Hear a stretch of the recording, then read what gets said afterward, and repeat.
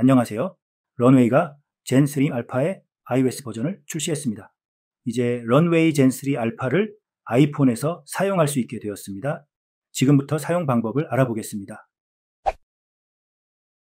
아이폰 앱스토어에서 런웨이 앱을 다운로드합니다. 런웨이 앱을 실행합니다. 새롭게 가입하려면 Sign Up을 PC에서 사용했던 아이디를 사용하려면 로그인을 살짝 누릅니다. 이제 비디오를 만들어 보겠습니다.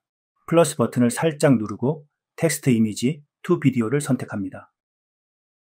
프롬프트 입력창에 카메라 설정과 원하는 장면 그리고 추가 세부사항을 입력합니다.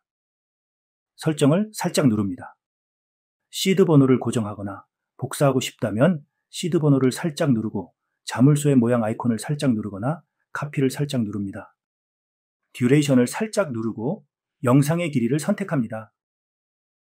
워터마크에서 스위치를 살짝 눌러 워터마크 표시 여부를 결정합니다.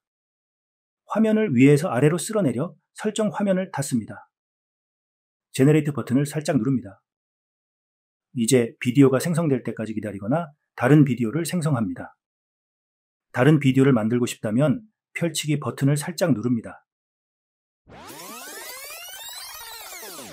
비디오가 만들어지면 자동으로 재생됩니다. 결과를 확인합니다. 비디오를 공유하거나 저장하고 싶다면 쉐어를 살짝 누릅니다. 공유할 앱을 선택하거나 비디오 저장을 살짝 눌러 아이폰에 저장합니다. 비디오를 삭제하고 싶다면 점 3개의 버튼을 살짝 누르고 Delete를 살짝 누릅니다.